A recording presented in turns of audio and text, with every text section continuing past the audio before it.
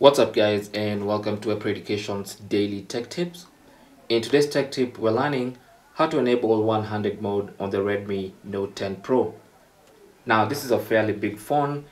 It comes in at around 6.6 inches and it might give some people trouble trying to reach all the four corners with one finger and that's why you might want to enable the one-handed mode.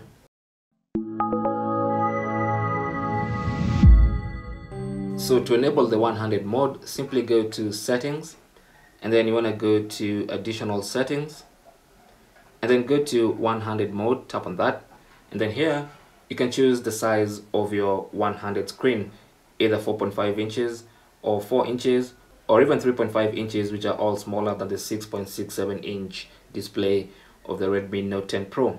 Now once you choose your screen, I'm going to go for the 4 inch size you want to make sure this is turned on and that's what enables the one-handed mode. Now with one-handed mode enabled you can now anytime you want to reach a place that you can't normally reach on the full screen simply swipe left from the home button if you want your one-handed mode to the left or swipe right if you want your one-handed mode to the right of your screen.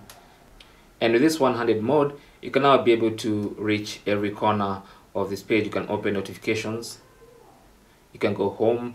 It's really a very very very small uh, mini screen that you can easily use with one hand. And when you're done using the one-handed mode simply tap on an empty black space and that will bring back the full screen mode. And that's basically how to use one-handed mode on your Redmi Note 10 Pro.